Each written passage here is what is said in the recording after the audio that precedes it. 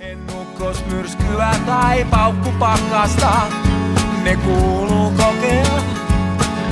En aio huolehtia, en anna murheen murtaa.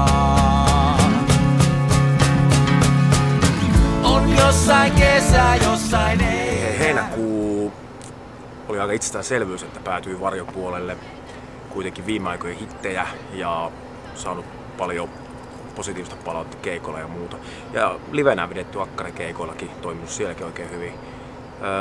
Tätä Martikaisen ja Tuomon kanssa tuumailtiin Jarkon pihamökissä ja siinä oli Jarkollakin pieni panos sovitus, sovituksessa.